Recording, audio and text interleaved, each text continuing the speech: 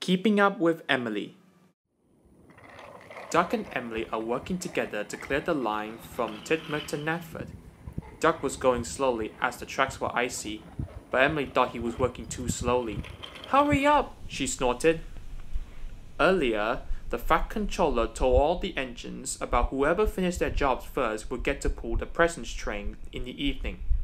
Emily hoped she would be chosen for it. She was thinking so much about it that she didn't notice that the tracks were very icy. Emily's wheels began to slid and slide. Whoa! she cried. She was going faster and faster. Yippee! called Emily. She was starting to enjoy herself. She was sliding so fast that she slid all the way to Knapford. After clearing the tracks, Emily and Duck had to take some coal trucks to the coaling plant. Emily was waiting for Duck. She listened to the choir and watched all the colorful decorations being put up. Emily wanted to pull the presents train more than ever. Finally, Duck puffed in. Trusting a Great Western engine to be late. I'm sorry, Emily. I had to go slowly and take care. Slow engines won't get to pull the presents train, snorted Emily. Now come along, Duck, couple behind, and let's go. Emily raced to the coaling plant as fast as she could. Must be first, must be first, she puffed. They reached a slope. The tracks were icy and Emily started to speed up. Duck was not happy. Emily's wheels started to slip and slide. Whee! she cried. This is the way to get the job done fast. Emily thought it was the best slide ever. At the coaling plant, Duck and Oliver's trucks were being filled with coal.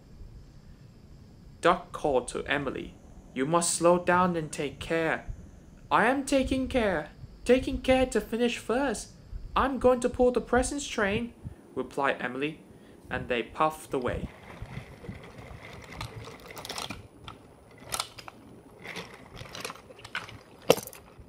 They headed for Brendam Docks.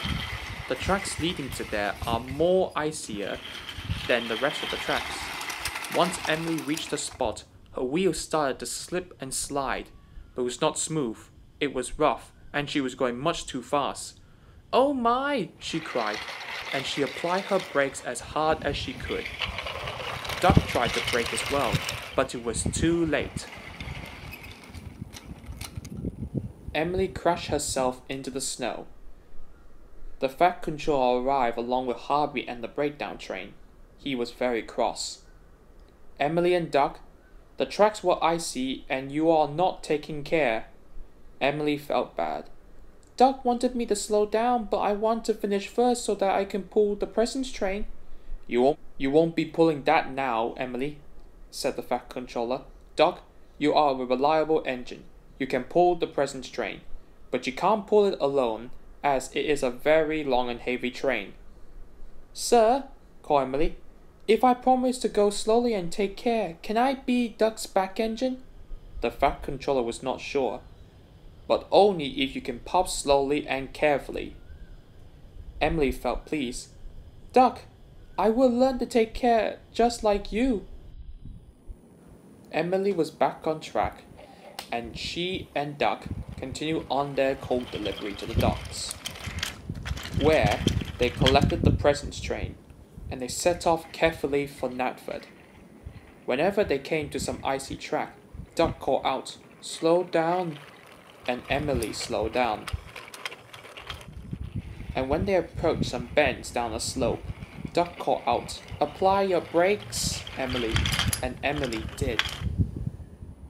The children cheered when they saw their presents as Duck and Emily pulled into Knapford Station slowly and safely.